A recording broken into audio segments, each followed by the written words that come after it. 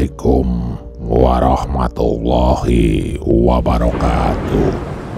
Salam Rahayu para pemirsa channel YouTube Kisah Para Leluhur Nusantara. Pada kesempatan kali ini kita akan membahas Panembahan Senopati yang sedang melakukan perjalanan spiritual. Ya, suatu hari Raja pertama Kesultanan Mataram, Panembahan Senopati, melakukan perjalanan spiritual.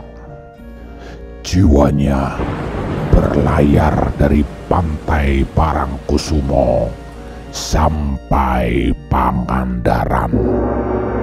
Sesampainya di Pangandaran, pria yang lahir dengan nama Danang Sutawijaya bertemu dengan Kanjeng Ratu Kidul, penguasa kerajaan Sigaluh dan Samudra Selatan. Danang Sutawijaya ditemani oleh Syekh Bela Belu, seorang penasehat spiritual dan juga seorang murid Sunan Kalijaga. Pertemuan antara Panembahan Senopati dengan Ratu Kidul terjadi sangat mengagumkan. Hal ini karena secara genealogis mereka sama-sama berdarah biru.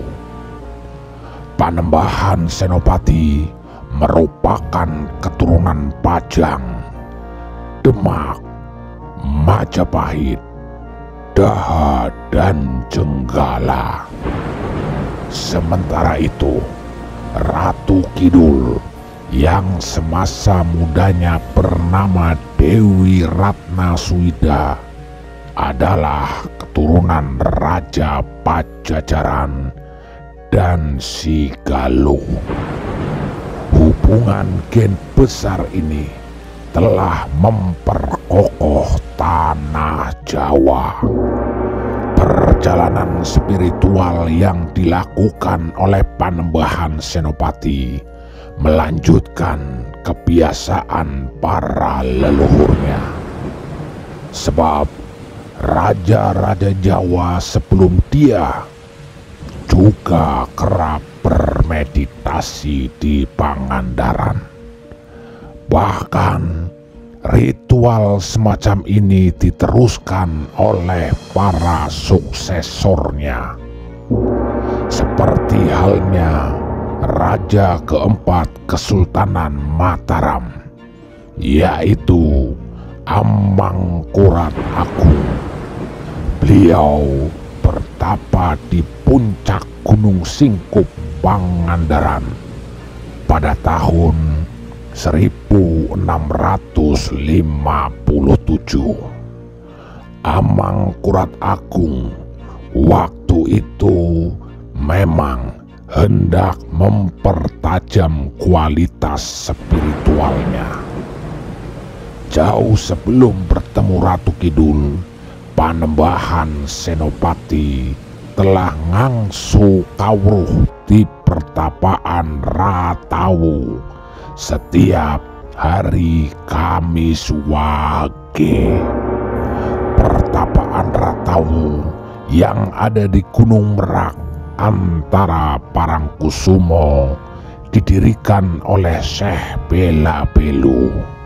Di sana dia mendapat wejangan dari Syekh Bela Belu.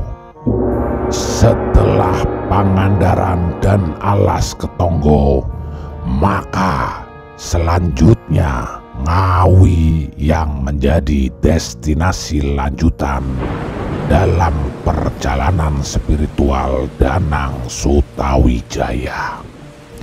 Di sini ada Kali Ketonggo, anak sungai Kali Madiun. Dalam perjalanan rohani ini, Panembahan Senopati mendapat Tuku Manik Kencono atau Tuku Manik Kumala.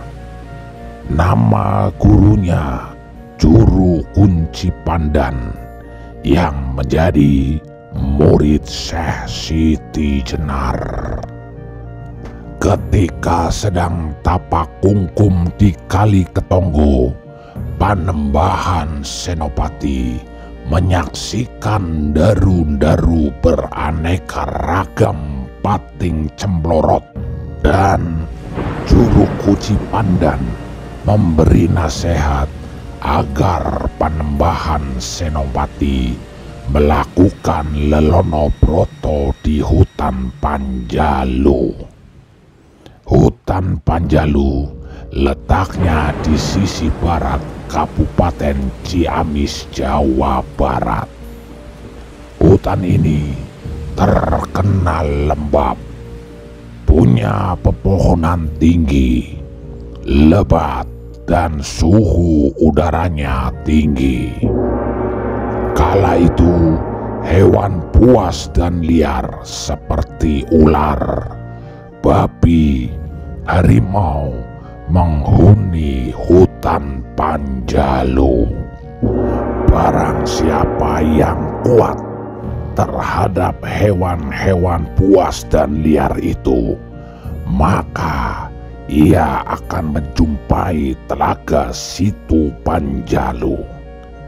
Di tengah-tengahnya terdapat Pulau Nusa Gede yang menjadi tempat makam Prabu Dipati Haryang Kencana. Dulu, situ Panjalu adalah istana Prabu Banjaran Sari atau Sang Yang Prabu Cakradewa. Beliau merupakan Raja Galuh pertama. Jadi, beliau merupakan leluhur Dewi Ratna Swida atau Kanjeng Ratu Kidul. Busana Raja Galuh termasuk Prabu Cakradewa berwarna hijau. Maka Kanjeng Ratu Kidul melanjutkan tradisi busana kerajaan Galuh. Selain di Pangandaran dan Alas Ketonggo, Panembahan Senopati juga pernah melakukan pengembaraan spiritual di Gunung Tidar. Kali ini, perjalanan spiritual sang raja bersama Aji Saka. Guru spiritual itu telah dikenal memberikan pengajaran dengan aksara Jawa. Dalam perjalanan itu, Panembahan Senopati, Sang Raja Mataram, mendapat keris pusaka Kiai Damar Murup dan juga pusaka Kendi Pratolo. Sedangkan guru spiritual Panembahan Senopati lainnya, yaitu Ki Ageng Arisboyo, beliau tinggal di pemancingan Parang Tritis. Ki Ageng Arisboyo adalah putra Majapahit yang berbadan kekar, tinggi, matanya tajam, kumisnya besar, dan sangat berwibawa. Sehari-hari beliau berpakaian warok Ponorogo. Berkat wejangan Ki Arisboyo ini, Panembahan Senopati dapat berkomunikasi dengan makhluk halus. Itulah hasil yang didapat Panembahan Senopati dalam melakukan perjalanan spiritual. Terima kasih. Wassalamualaikum warahmatullahi wabarakatuh. Salam Rahayu.